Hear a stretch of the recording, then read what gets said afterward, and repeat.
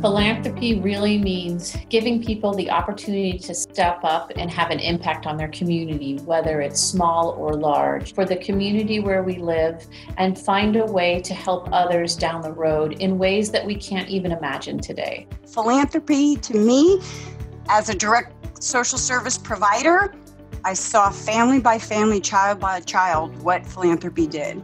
And now at United Way, I see how we're all working together to make philanthropy improve our entire community and all residents here.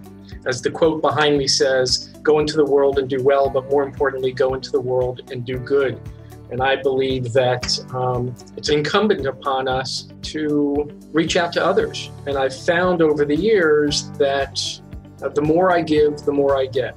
It's so important that we are all talking to our clients, talking to our community about leaving a legacy gift. And you don't have to have great wealth to leave a legacy. You can leave anything to one of these three organizations, which will grow and will serve this community in perpetuity forever. It's so important to give now, but to give for the future as well.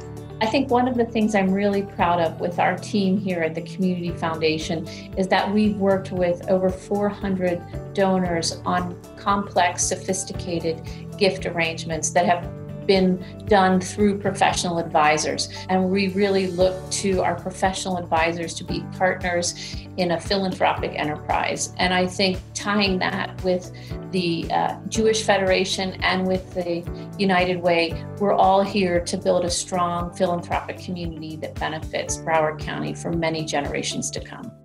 The Jewish Federation of Broward County uh, works with advisors to ensure that philanthropy is at the top of the discussion when they're sitting with their clients. Um, often, clients want to make sure that they're caring for their families, they're caring for their future, uh, but we ensure that they care for the community around them. We can create a Broward where every person, every family is thriving and doing well a community gets judged on how we serve the most vulnerable. And when we serve the most vulnerable, every person does better, every community does better, every business does better. So the entire community does better.